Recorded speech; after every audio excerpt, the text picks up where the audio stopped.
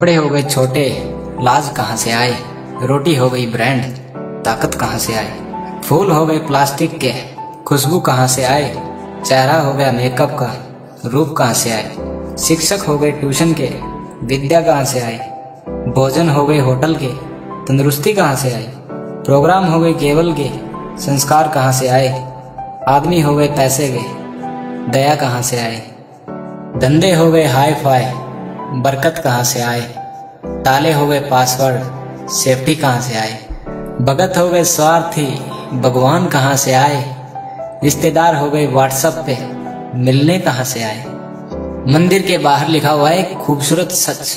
अगर उपवास करके भगवान खुश होता तो इस दुनिया में बहुत दिनों तक खाली पेट रहने वाला भिखारी सबसे सुखी इंसान होता। उपवास अन्न का नहीं, विचारों का करे। इंसान खुद की नज़र में सही होना चाहिए। दुनिया तो भगवान से भी दुखी है। चिड़िया जब जीवित रहती है तो वो कीड़े मकोड़े को खाती है।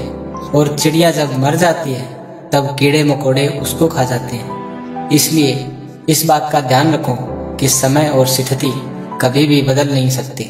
इसलिए कभी किसी का अपमान मत करो। तुम शक्तिशाली हो सकते हो, पर समय तुमसे भी शक्तिशाली है। एक पेड़ से लाखों माचिस की तिल्लियाँ बनाई जा सकती हैं, पर एक माचिस की तिल्ली से लाखों पेड़ भी जलाए जा सकते हैं। रूप दिया है मोर को तो इच्छा छीन ली। इच्छा दी इंसान को तो संतोष छीन लिया, और संतोष दिया संत को तो संसार छीन लिया। मत कर कभी भी गुरूर, अपने आप पे, ऐ इंसान, भगवान ने तेरे और मेरे जैसे कितनों को मिट्टी से बनाकर मिट्टी में मिला दिया। इंसान, दुनिया में तीन चीज़ों के लिए मेहनत करता है। मेरा नाम ऊँचा हो, मेरा लिबास अच्छा हो, मेरा मकान खूबसूरत हो। लेकिन इंसान के मरते ही भगवान उनकी तीन चीज़ों को सबसे पहले बदल देता है। नाम सरब किए लिबास, कफन, मकान, शमशान। जीवन की कड़वी सच्चाई, जिसे हम समझना ही नहीं चाहते, ये चंद पंक्तियाँ, जिसने भी लिखी हैं, खूब लिखी हैं। एक पत्थर सिर्फ़ एक बार मंदिर जाता है और भगवान बन जाता है। इंसान हर रोज मंदिर जाता है, फिर भी पत्थर ही रहता है। नाइस लाइन एक औरत बेटे को जन्म देने के लिए अपनी सुंदरता त्याग देती है। और वही बेटा एक सुंदर बीवी के लिए अपनी माँ को त्याग देता है।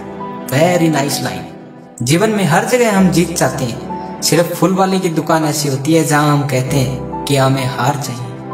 ये ज़िंदगी जैसी भी है, बस एक बार ही मिलती है। ये एसएमएस ज़रूर सब तक भेजना।